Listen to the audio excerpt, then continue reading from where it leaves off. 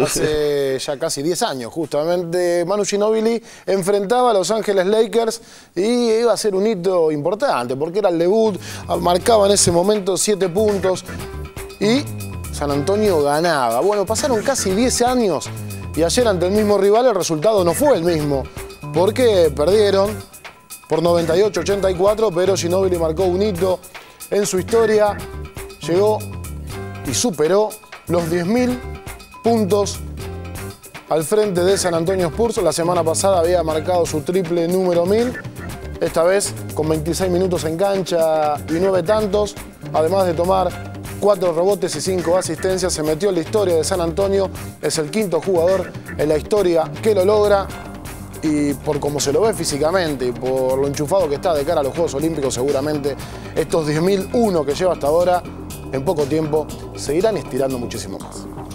Thank you.